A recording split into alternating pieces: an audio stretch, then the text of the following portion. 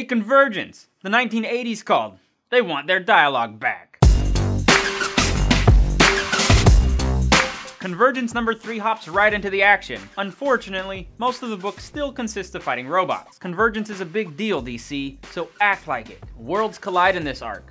So do something interesting. I can see the Justice League fighting robots anywhere. Have heroes and villains team up to save their city from their counterpart heroes and villains. Have villains from two different worlds work together to kill their respective heroes. Do something different. Why the dick are they still fighting robots? We see very little of the crux of this series. Dick! The art changed up a bit in this book. Jason Paz and Stephen Segovia do just as good a job as the previous books in portraying the action and showing character moments, but something that makes this issue better is their use of double page action. It certainly breaks up the monotony from numbers 1 and 2. Convergence has become a bit like an old car.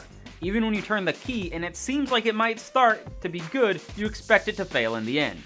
Even as the artwork gets better, the story, written by Jeff King, stays just as arbitrary. A villain with a one-track mind is hardly a character worth hating. Give him some purpose, some diversity, and some reason. The logical continuity in this book is also all over the place. I won't give too much away, but if you can put two and two together, you'll be scratching your head a lot. Then there's this weird romance thing going on between Flash and Yolanda. Yo, Yolanda, you alright? Sure, Flash, considering the circumstances, I'm alright. Awesome. Can I get you anything? Nah, I'm good for now, thanks. You sure, girl? Yeah, cool. And that, ladies and gentlemen, is how Jeff King thinks you get a lady's digits. For all of its flaws, there are a couple redeeming properties like these little guys. If you can tell who they are from their outfits, you should be pretty excited. If you can't, you'll just have to pick up Convergence number 3 to find out more. King also makes good use of Batman and not Nightwing Dick Grayson again. It would be wonderful if he could write the other heroes just as well. Thomas Wayne is quickly moving up the ladder of my favorite Batman personas. Death, plot, questions, answers,